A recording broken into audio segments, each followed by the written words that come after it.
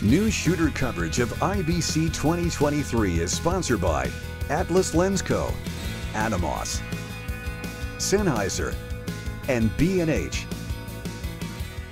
I'm Erik Naso with NewsShooter.com, and I'm at IBC 2023 in Amsterdam. I'm with Andrew from Deity. How's it going, buddy? It's going fantastic. Some of the best weather I think I've ever been at an IBC show, and you should be here if you're not here. Yeah, I mean, come on, this morning, big blue sky, nice. It was even almost warm. I think that's the first time I've ever felt the sun in, in uh, Amsterdam in, in, September. Yeah, I, I almost wanted to go for a walk. I mean, I didn't because, you know, I'm fat, but I almost wanted to. oh, so I thought you were going to say because I'm stuck in this booth with all this great new gear you got to show. I'll tell you, it's been a fantastic attendance show. The quality of person that comes to IBC is always top notch. It's one of the best shows out in the world, and we wanted to bring some of the best products to these people to really kind of show them what we've done differently in the last 12 months. And really, everything we're showing has been some of these in the works for a year or two. So we've been really excited to just bring it and finally get the show to folks. First, before we get going, we have some a lot of new products to show and some and uh, you know some prototypes. Give me an update on Theos. What's going on? So our Theos 2-channel ENG kit was delayed about 30 days. That's because we found the ability to add antenna diversity to the receiver without increasing the cost or the size. Mm. And by adding this and doing some retweaks, we really can increase the stability and the performance of the kit. And it's going to benefit the customer long term. Mm. So rather than hold off on that secret to ourselves and come out with a Mark II in a year to make everyone's Mark I discontinued and trash your, your value, we said we'll fix it first and then we'll sell it. Refreshing, smart move. You don't, you know, you don't want to upset your customers. They're the ones that you need. We all have like an ecosystem of people. we, we, all need each other on this one. We have a community that puts a lot of trust in us. Mm. They've also told us exactly what they want, and our success is solely due to them and I wouldn't want to do anything that would dishonor any trust they've given us. Mm. We've been given a shot to really do something new and different for the industry that we feel are toys that we want in our own kit. Yes. And I want to do that same thing for other people, and I wouldn't want it if this was done to me.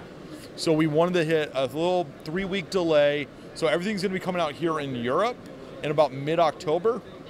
For North America, it's going to be end of October and for the rest of the world, it's really going to be based on the shipping of your region and whatnot. Fantastic. Well, good news. Thank you for yeah. that update, Andrew. That's really important. Um, let's move on to something that's uh, new that you have right behind me. What do we got here? So we've got a couple more entries into the Theos ecosystem family. What we've got here is the DLTX. This is a three-pin LEMO transmitter that also has haptic feedback, as well as it's got Phantom 48. So Very what nice. this means is it looks like a body pack. It acts like a body pack, but it can run on your boom pole. So it's got this lightweight build that a transmitter for a body pack would have, but now on the end of your boom. Instead of one of those big, giant, bulky kind of cube transmitters. Yes. That, because we're putting it at the head of the boom, we wanted to go as lightweight as possible. We also wanted to make it in a form factor that, let's say you're not running a boom. Let's say you need a lav that day. It also still handles 3 volt and 5 volt lavaliers, no problem. And they use the same wiring technology that other people do for the 3 pin LEMO standard for lavaliers. So if you have these kinds of lavaliers, migrating over the Deity is super easy. And are you going to offer some special mounting options because you're looking at putting it on a boom pole? It's not going to just be clipped onto Absolutely. your belt. Absolutely. The ones we've got here are just 3D prints of some, some CAD concept designs for mounting. Of course, we're going to post these kinds of photos, and we know the community out there is going to say, yeah, that's fine. Or they may say, you know what, we can come up with a better idea. Can you do it this way? And we'll take that feedback from the community in terms of mounting options. We also know there's a robust community out there uh, like second uh, Sound Guy Solutions that come up with some fantastic solutions and aftermarket accessories for transmitters just for this purpose. So we know there's an avid 3D printing hobbyist boutique accessory world in our sound community that's really going to get gung ho about the DLTX. Now, uh, this one also has uh, an internal option for recording. Yep, of course, it's got the 32-bit float recorder and the same timecode system as the other systems. And of course, it's going to sync up with the TC1, the TC-SL1 slate wirelessly. So as you try to control it through Sidus, everything you know about the Sidus audio world lives in this unit as well. And what's really great here in Europe is you're going to be able to transmit and record. And of course, standard fare in the United States is going to be transmit or record for any unit that was purchased in or operated in within the United States. Now, um, something that I think people were confused about, that maybe I was even confused about, uh, if you take your, your European transmitter, or yeah, your European transmitter out of the country, you end up in the United States. How does that affect the recording? Does it work? Does it not work? How, how does that, and how does it not work? Sure. So as soon as you bring in a European system, so first off, when you buy a European system, it's going to be spec'd for the RF output and the frequencies that we have here in different European countries.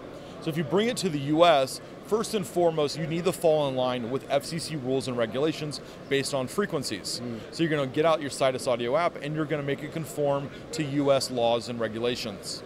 At the same time, what we're doing in the background is we're noticing you're in the US now. And to comply with US laws, we're also going to turn off transmit and record.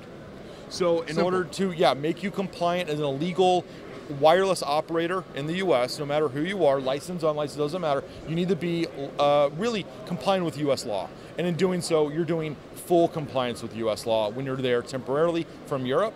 And if you're purchasing a system in the US, you will always need to be in US compliance with law because that's where the system was purchased. So even if you take it overseas, it still is going to end up complying with US law in some regards. Not your local rules and regulations in terms of frequencies and RF output, but the transmit and record functionality.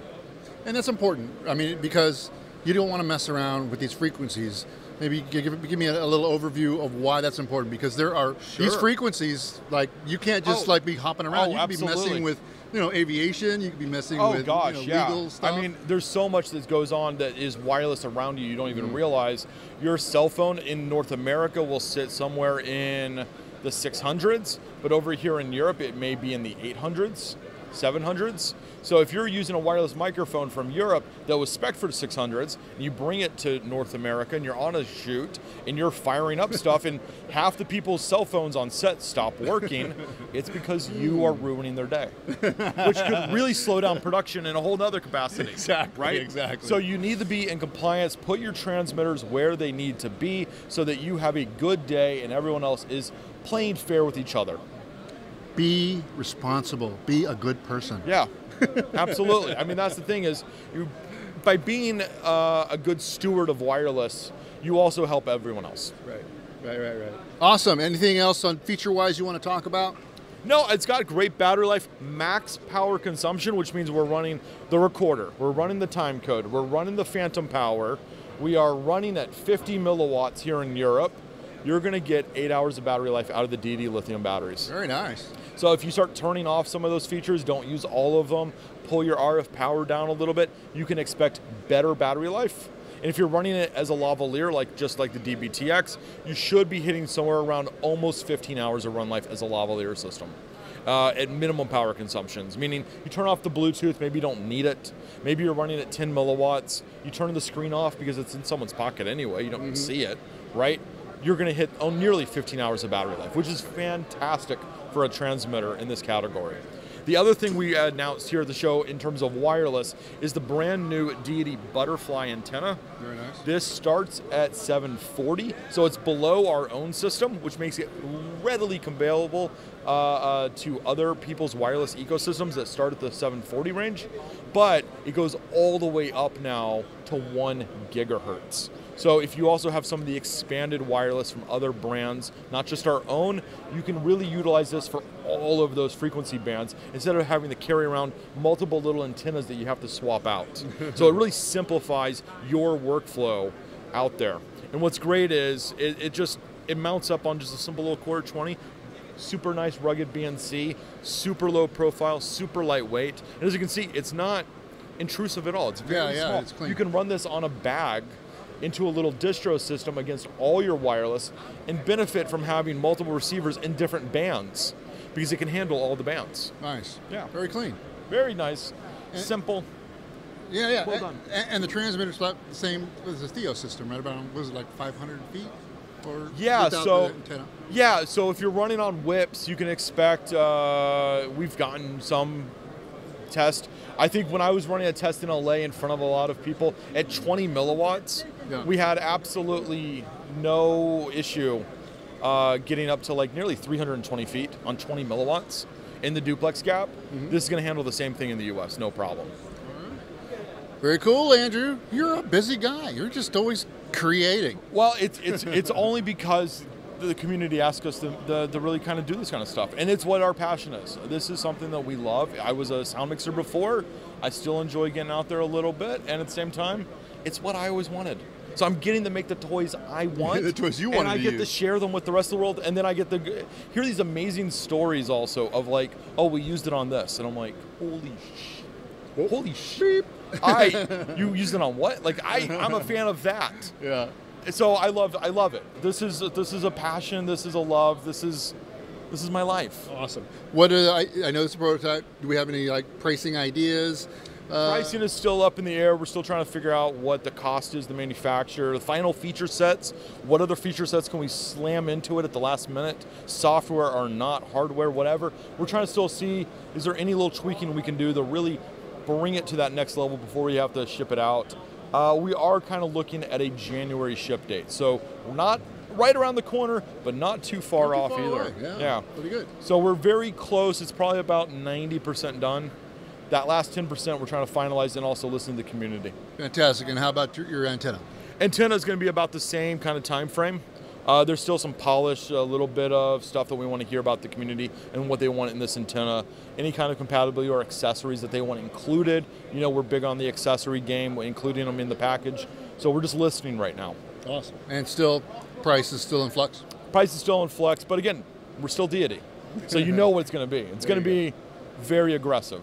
There you go. Okay. Thanks a lot, Andrew. Thank you.